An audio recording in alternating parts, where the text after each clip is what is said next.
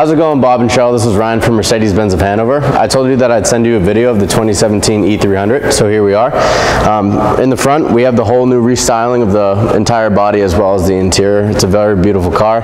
It's the uh, first generation that it came out in this model. Um, so if you walk over here, you're going to see the entire length of it. A little bit bigger, more legroom in the back.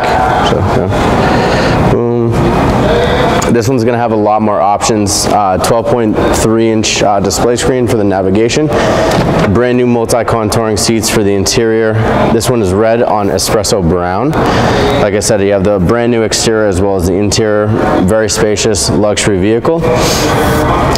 As we work our way to the back, you're gonna have a brand new back. It's a lot more sloping than the uh, regular E350. New tail lights, everything.